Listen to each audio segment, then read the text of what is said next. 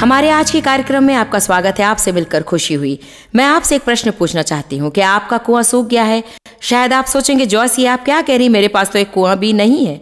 जानते हैं, मैं आपके अंदर के कुएँ की बात कर रही हूँ। क्या आपके जीवन में अच्छा प्रवाह है? ये क्या आपकी शांति और आपकी खुशी का प्रवाह रुक गया है और परमेश्वर की उपस्थिति का प्रवाह रुक गया है? मैं मानती हूँ कि हमारे जीवन में ऐसी बाधाएँ आती है जो हमें वो व्यक्ति बनने नहीं देती जो हम बनना चाहते हैं। मुझे विश्वास है कि आज आप सचमुच प्रवचन का आनंद अवश्य लेंगे। आपसे एक प्रश्न पूछूँगी कि आपका प्रवाह रुक गया है? बगल वाले व्यक्ति से पूछे कि आपका कुआँ सूख गया है?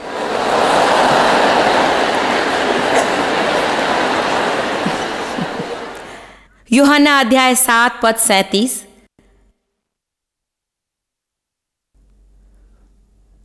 प्रभु, मेरी प्रार्थना है कि तू आज मेरा अभिषेक कर। आमीन। फिर पर्व के अंतिम दिन, जो मुख्य दिन है, यीशु खड़ा हुआ और पुकार कर कहा, यदि कोई पियासा हो तो फिर मेरे पास आकर पिए। और जो मुझ पर विश्वास करेगा, जैसा पवित्र शास्त्र में कहा गया है, उसके हृदय से दूसरा अनुवाद कहता है कि उसके पेट से। उसके पेट से जीवन के जल की नदियाँ बह निकलेंगी। हमारे जीवन में प्रवाह रहना ज़रूरी है। आपके अंदर से क्या प्रवाहित होता है?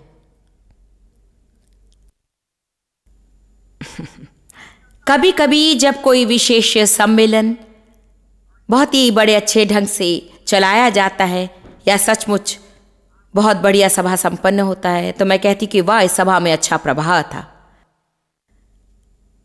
आराधना चलाने वाले कहते हैं, आज आराधना का प्रभाव बहुत ही बढ़िया रहा। इसका वास्तविक अर्थ क्या है? इसका अर्थ यह है कि हमने बिना किसी बाधा या फिर विरोध के पूर्ण आज़ादी का एहसास किया। प्रभु चाहता है कि हमारे जीवन में एक प्रवाह हो, बिना रुकावट के, जिसमें बार बार बाधाएँ और अड़चने ना हो और जो भी हम करने की कोशिश करें, उसमें शैतान का विरोध ना हो। आपके जीवन में किस तरह का प्रवाह है? क्या आपको सब कुछ सूखा लगता है? क्या आपको ऐसा लगता है कि जब भी आप कुछ करने की कोशिश करते हैं, कोई ना कोई रुकावट या फिर बाधा आ जाती है? मेरा विश्वास है कि आज आपके लिए ज़रूरी संदेश है। आपके आसपास जो कुछ हो रहा है, उससे अधिक महत्वपूर्ण है कि आपके अंदर क्या हो रहा है। हम हमारे आसपास की चीज़ों में अधिक ध्यान देते और इस बात पर उतना ध्यान नहीं देते कि हमारे अंदर क्या हो रहा है। अंदर से आने वाली वस्तु जीवित है या फिर मृत? क्या कोई बहाव है या फिर क्या आप सभी रुके हैं? क्या आपके हर प्रयास में रुकावटें आती हैं? क्या आपके जीवन में बाधाओं को महसूस करते हैं? योहना चार चौदह में यीशु ने कहा है कि जो जल मैं उसे दूँगा, वो उसमें एक सोता बन जाएगा, जो अनंत जीवन के लिए उमड़ता रहेगा। आप परमेश्वर द्वारा अभिषेक किए गए हैं, पहला योहन्ना के अनुसार। आपके अंदर एक अभिषेक निहित होता है। वो अभिषेक परमेश्वर की उपस्थिति और सामर्थ है। मैं आपको बता दूँ कि अच्छा होगा यदि हमारे अंदर जो है उसे बाहर निकलने दें। मैं उन अच्छाइयों के बारे में कह रही हूँ जो आपकी आत्मा में है। वो जिसे यीशु ने तब आपके अंदर बोया जब वो आप में वास करने आया। यदि हम उस शांति को और आनंद को, उस अभिषेक को, उस आशा को और उस सामर्थ को अपने अंदर से प्रवाहित होने दें तो हम में से हर एक संसार को बदलने वाले होंगे। संसार को बदलने वाले।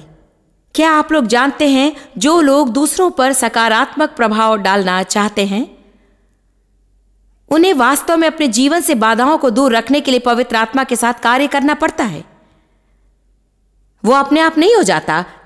शैतान हम सबके पीछे पड़ा है और उन लोगों से बहुत अधिक नफरत करता है जो प्रभु के लिए बहुत कुछ करते हैं। यदि आप अपने पड़ोसी पर सकारात्मक प्रभाव डालते हैं तो शैतान आपसे नफरत करेगा। शैतान नहीं चाहता कि आप अपने कार्यालय में सहकर्मियों पर सकारात्मक प्रभाव डालें, इसलिए वो रुकावट डालने की कोशिश करेगा और वो आपको रोकने की कोशिश करेगा। लेकिन वो नहीं कर सकेगा। यदि आज मैं जो आपको सिखाने जा रही हूँ, उसे आप सीख लेंगे। संसार में रहने वाले से आपके अंदर जो है, वो महान है। शैतान आपके विरुद्ध आएगा, परंतु वो एक रास्ते से आएगा तो कई रास्तों से भाग जाएगा। आइए अब देखते हैं उत्पत्ति 26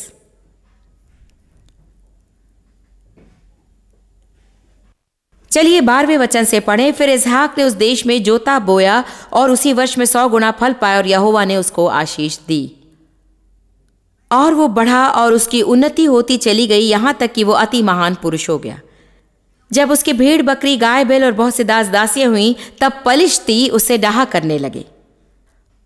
और अब वचन पंद्रह देखिए, सो जितने कुओं को उसके पिता इब्राहिम के दासों ने, इब्राहिम के जीते जी खोदा था, उनको पलिश्तियों ने मिट्टी से भर दिया, या फिर कूड़े से।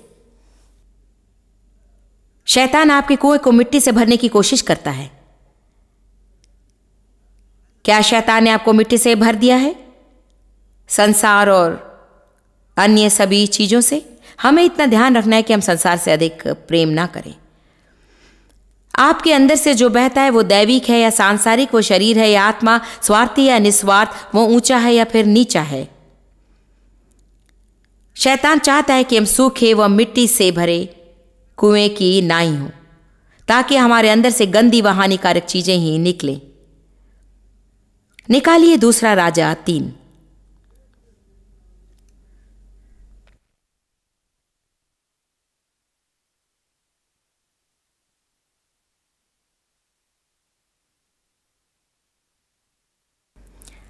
पद उन्नीस, दूसरा राजा तीन, उन्नीस। जानते पुराने नियम में बहुत से युद्ध लड़े गए। इसराइलियों को अनेक शत्रुओं का सामना करना पड़ा। उनके पास आधुनिक हथियार नहीं थे जो आज हमारे पास हैं, परंतु उनके पास एक सशक्त हथियार था और वो महान हथियार था, वो था।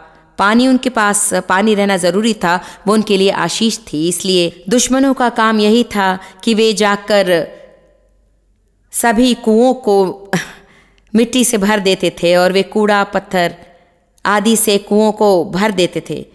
ताकि उनसे पानी ना निकले। वे सारी ज़मीन पर पत्थर फैला देते थे ताकि उस ज़मीन पर फ़सल ना उगे। वे सभी पेड़ों को काट देते थे ताकि उन पेड़ों में फल ना लगे। शैतान की यही कोशिश रहती है कि वो किसी प्रकार की उन्नति ना होने दे। वो किसी प्रकार की प्रगति नहीं चाहता। वो नहीं चाहता कि हम फल दें।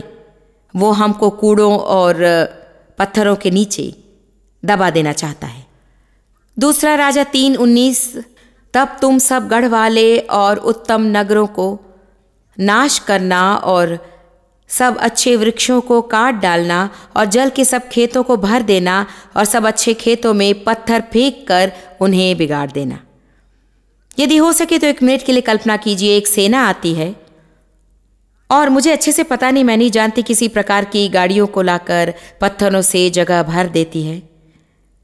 जल वाले कुओं को पत्थरों से भर देती है ताकि वे सूख जाएँ और उसके बाद खेतों में पत्थर फेंक कर सभी पेड़ों को काट देती है। कितने लोग अपने मन में इस चित्र को बना सकते हैं? ठीक है। आप देखिए वचन 24 और 25 और जब वे इसराइल की छावनी के पास आए थे कि इसराइली उठकर मुआबियों को मारने लगे और वे उनके सामने से भाग गए और वे मुआब को मारते मारते उनके देश में पहुँच गए। अब इसराइल अपने शत्रु के विरुद्ध उठता है। और इसराइलियों ने भी ऐसा ही किया। वे उन दिनों इसी तरह से सामना किया करते थे। और उन्होंने नगरों को ढा दिया और सब अच्छे खेतों में एक एक पुरुष ने अपना अपना पत्थर डालकर उन्हें भर दिया और जल के सब सोतों को भर दिया और सब अच्छे अच्छे वृक्षों को काट डाला। यहाँ तक कि किहर रेशेत के पत्थर तो रह गए। आगे सुनिए। परंतु उसको भी चारों ओर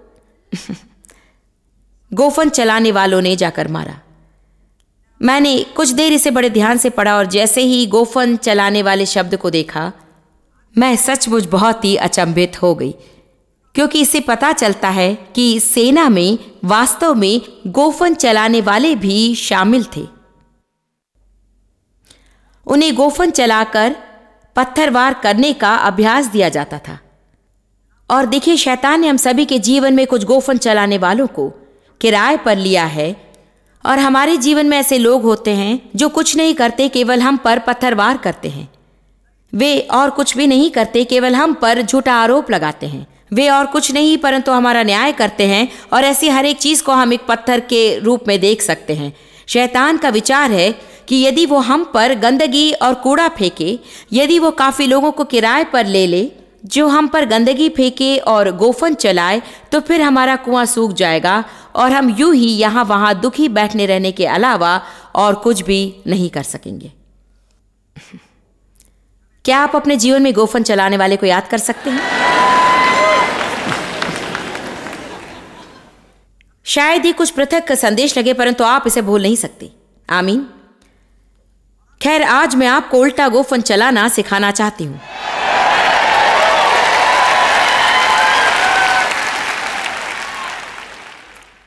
बैठे बैठे शैतान द्वारा फेंके जाने वाले पत्थरों को पकड़कर, कुआँ भरने में उसकी मदद करने के बदले, आपको कुछ और ज़्यादा आक्रमिक बनकर, यह एहसास कर लेने की ज़रूरत है। आशा है आप इसे समझ लेंगे। आप जानते कि ईशु क्या कहलाता है? चट्टान।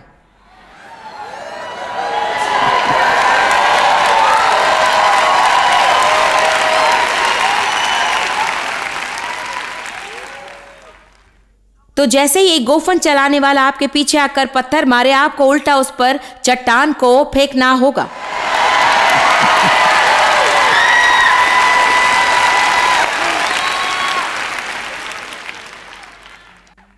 कम से कम ये मेरे लिए उन प्रवचनों में से एक है जिसके लिए आपको आध्यात्मिक बनकर आत्मा में उसे समझने का अच्छी तरह से प्रयास करना होगा, जो मैं कह रही हूँ। और देखिए, ईशु हमारे लिए उद्धार का चट्टान है। और ईशु को मांसधारी वचन भी कहा जाता है। और बाइबल ईशु का लिखित रूप है। इसीलिए हर एक बार अब मेरी ओर ध्यान दीजिए। ओ प्रभु, इसे समझने की ज़रूरत है। हर एक बार जब शैतान आप पर पत्थर फेंकता है तो वो एक गोफन चलाने वाले को किराए पर ले लेता है। और यदि आप उल्टा उस पर वचन को फेंकने का तरीका सीख लें तो अच्छा होगा, क्योंकि उसके पास फेंकने के लिए छोटे छोटे पत्थर ही होंगे, जबकि आपके पास फेंकने के लिए चट्टान है।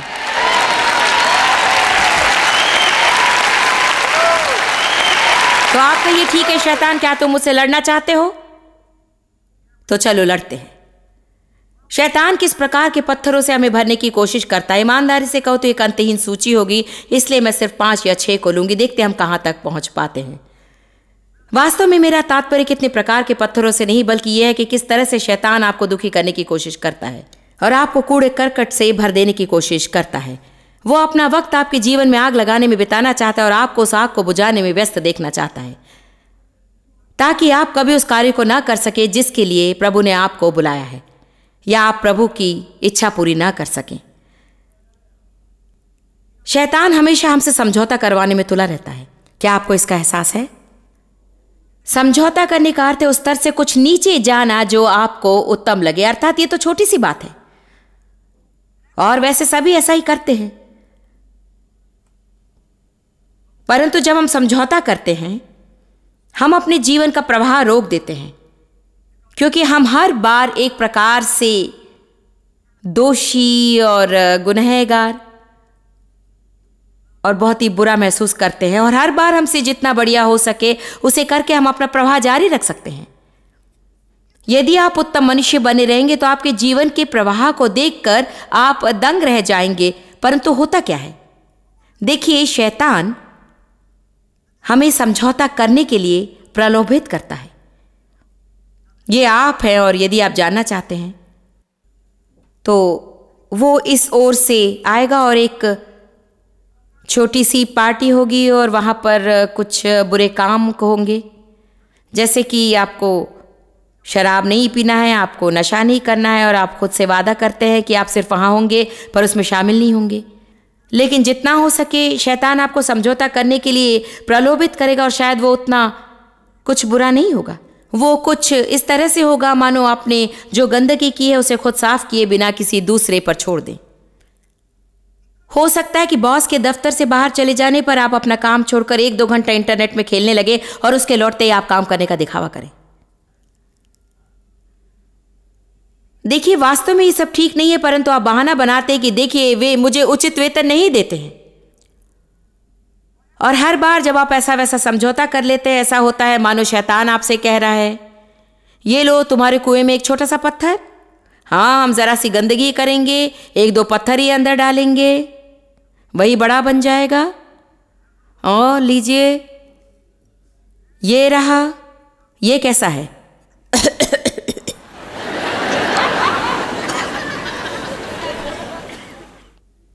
प्रेरित तेईस पद एक। क्या आप अपने जीवन में प्रवाह चाहते हैं? मैं आपके बारे में नहीं जानती, परंतु मैं प्रवाहित रहना चाहती हूँ। मैं बस बहना चाहती हूँ। अपने प्रवाह को खो देने से अच्छा है, उसे कुछ न कुछ करके कायम रखना ठीक समझूँगी। आपको इसे समझ लेना है, और जितनी जल्दी आप समझेंगे, उतना ही कम मुझे प्रचार करना होगा। तो यदि आप इसे समझने में देर लगा देंगे तो हमें यही बैठे रहना होगा। इसे जल्दी से समझ लीजिए। अरे देखिए, मैं ये कहने के योग्य बनना चाहती हूँ और चाहती हूँ कि आप ये कहने योग्य बने। प्रेरित तेईस एक, जो पॉलिस ने महासभा की ओर टकटकी लगाकर देखा और कहा, हे भाइयों, मैंने आज तक परमेश्वर के लिए बिल्कुल सच्चे विवेक से जीवन बिताया है। ये कहना कितना अनोखा होगा कि परमेश्वर के सामने मैं सच्चे विवेक से जी रहा हूँ। ऐसा करने पर आपका प्रभाव बना रहता है। हाल ही में कोई मुझ पर किसी प्रकार का झूठा आरोप लगा रहा था और शहर में उसकी खूब चर्चा होने लगी। वे मेरा साक्षात्कार करने आए और मुझसे इस आरोप के बारे में पूछने लगे और तब जानते हैं, मैंने उनसे क्या कहा? मैंने कहा कि हर एक मनुष्य को परमेश्वर के सामने खड़े होकर अपने जीवन का हिसाब प्रस्तुत करना है। और जब भी वो मुझे अपने पास बुलाए, मैं हिसाब देने को तैयार हूँ। मैं परमेश्वर के प्रश्नों का जवाब देने से बिल्कुल नहीं डरती। हम सबको ऐसा कहने के योग्य बनने की आवश्यकता है। हमें डर डर कर जीने की बिल्कुल ज़रूरत नहीं। शैतान को आप में भय उत्पन्न करने का अवसर मत दीजिए। पूरी गंदगी से, कंकड़ पत्थरों से कूड़े करकट से भर देने का अवसर मत दीजिए। उसे रोकिए और उसका डटकर सामना कीजिए और जब भी वो समझौता करने के लिए कहे, आपको उस पर उल्टा पत्थर मारना चाहिए, परंतु वो उनमें से एक हो। क्या आपने ऐसे चट्टान देखे जिनमें लिखा होता है विश्वास? आप में से कितनों ने विश्वास वाला चट्टान देखा है? वे उन्हें बेचते हैं। क्या आपने कभी सोचा कि विश्वास शब्द लिखे हुए पत्थर को घर ले जाकर लोग क्यों सजाते हैं? उसमें एक संदेश है। मैं नहीं जानती कि जिन लोगों ने इसे बनाया है, वे सचमुच जानते कि वे क्या बना रहे हैं, परंतु इसमें एक संदेश है। मेरे पास परमेश्वर का वचन रूपी पत्थर है और वो मेरे विरुद्ध फेंके जाने वाले शैतान के किसी भी अस्त्र से शक्तिशाली है। इसलिए जब शैतान कहता है, समझौता समझौता, मैं उस पर अपना पत्थर अर्थात वचन फेंकता हूँ, जो कहता है, मैं सच्चाई पर चलूँगा और मैं वही करूँगा जो प्रभु की नज़रों में सही है और मैं निष्कलंक हृदय से उसके सामने जीऊँगा।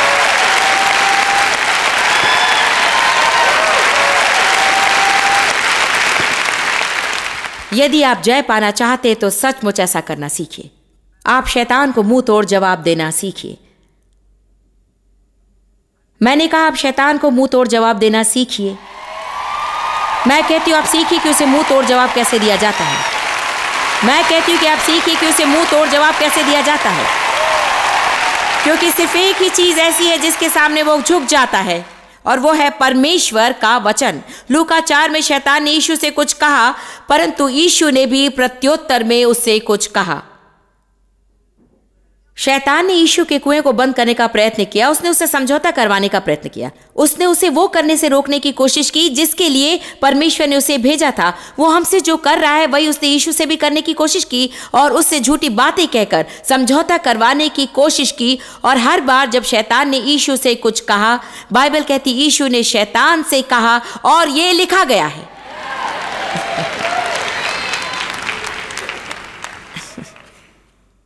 यदि आप अपना मुँह खोलकर जो कुछ भी वचन आप जानते हैं, उसे आप ज़ोर से नहीं कहेंगे तो परीक्षाएँ आने पर, आक्रमण किए जाने पर आप कभी भी जय नहीं पा सकेंगे।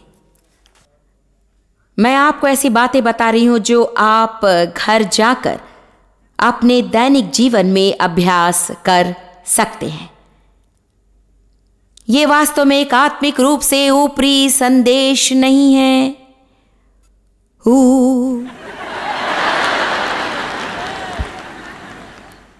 देखिए, जब आप घर जाएँगे और कोई पूछेगा कि बताइए, आज की सभा कैसी थी? जॉयस ने किस विषय पर प्रचार किया? ओ, वो बहुत ही गहरा विषय था। नहीं, आप घर जाकर कही कि उन्होंने मुझे शैतान पर पत्थर वार करके उसे मार डालना सिखाया। उन्होंने बताया कि शैतान मेरे कुएँ में कंकड़ पत्थर फेंक रहा है। वो मेरे कुएँ को सुखाने की कोशिश कर रहा है। मैं कभी अपने बहाव को रुकने नहीं दूँगी। मैं अपने जीवन में आने वाली बाधाओं को देखकर नहीं रुकूँगी। आज मैंने ये जान लिया है कि मेरे पास परमेश्वर का वचन रूपी चट्टान है और जब वो मुझ पर पत्थर फेंकेगा, मैं उस पर उल्टा वचन फेंकूँगी और उसे हरा दूँगी। हालेलुया।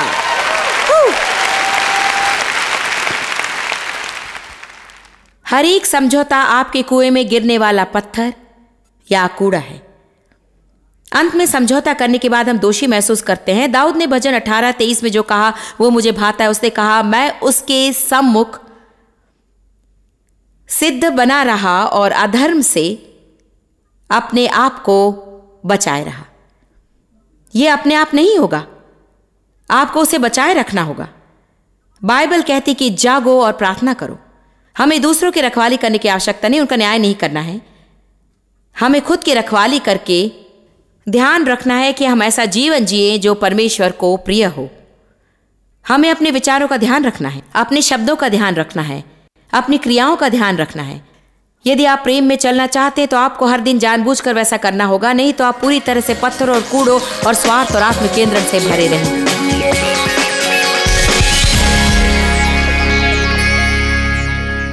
क्या आनंद लो प्रतिदिन के जीवन का आपके लिए उपयोगी है? मैं प्रार्थना करती हूँ कि वो आपके लिए उपयोगी और विश्वास करती हूँ कि ऐसा ही होगा। और अब मैं आपसे एक मदद चाहती हूँ। हम इसी तरह से सहभागी हो सकते हैं। मैं आपकी वचन द्वारा मदद करती हूँ और आप दान और प्रार्थना के द्वारा मेरी मदद कर सकते दूसरा कुरंतियों नौ सात में बाइबल कहती है हर एक जन जैसा मन में ठाने, वैसा ही दान करे। मुझे लगता है कि कभी कभी परमेश्वर लोगों के मन में सेवा कार्य के लिए दान देने की बात डालता है और वे उसे तुरंत नहीं करते हैं। शायद आपके पास स्टैंप नहीं रहता या आपको तुरंत उसे करने का मन नहीं करता। पर अच्छे विचारों के साथ आज्ञाकारी होना भी ज़रूरी है। परमेश्वर ने आपके लिए आशीष रखे, परंतु उसे पाने के लिए परमेश्वर आपसे जो बीज बोने को कहता है, उसे अवश्य बोना होगा। यहाँ वचन साथ में कहा गया कि हर एक जन जैसा मन में ठाने, वैसा ही दान करे, न कुड़ कुड़ के और न ही दबाव से, क्योंकि परमेश्वर हर्ष से और उदारता से, सच्चे दिल से, पूरे मन से, देने वाले से प्रेम करता है। मैं आपसे सिर्फ़ यही कहना चाहती हूँ कि परमेश्वर आपके मन में जो बात डालते हैं उसे कीजिए। यदि हमारी सेवकाई से आपको मदद मिल रही है या आपके जीवन में परिवर्तन हुआ है तो मैं आपसे आग्रह करती हूँ कि आप हमारी मदद करें ताकि हम और भी दुखी लोगों की मदद कर सकें। क्या आज आप हमारे लिए एक विशेष प्रेम दान भेजकर हमारा साथ देंगे ताकि हम विश्व के कोने कोने तक पहुँच सकें? अपना उत्तम दान हमें अवश्य दीजिए। प्रभु आशीष दे, मैं आपसे प्रेम रखती हूँ।